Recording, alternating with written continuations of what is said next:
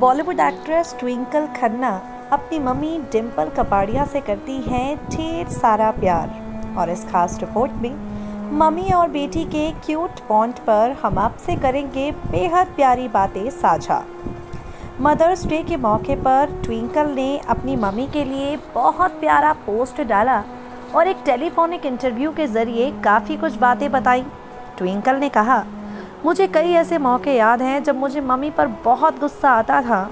मुझे अपने हाथों पर कंट्रोल करना पड़ता था कि कहीं गुस्से में मैं अपनी मम्मी का गला ना दबा दूँ। आपको बता दें, यहाँ पर ट्विंकल इस इंटरव्यू में कहती हैं बहुत प्यारी प्यारी बातें। अपने कॉलम में वो लिखती हैं, मुझे ऐसे कई अवसर याद हैं जब मुझे लगभग अपने हाथों को कंट्रोल में करना पड़ता था जिससे मैं अपनी माँ का गला ना घोट दूँ।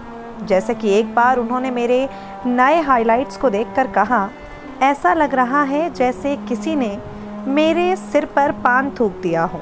मम्मी ने ये बात मज़ाक के तौर पर कही, मगर ये उनके हल्के फुल्के अंदाज में आलोचना ही थी। ट्विंकल कहती हैं कभी कभी मुझे डर लगता है कि कहीं एक दिन मेरी बेटी मेरे बारे में ऐसी ही बातें ना सोचने लग जाए।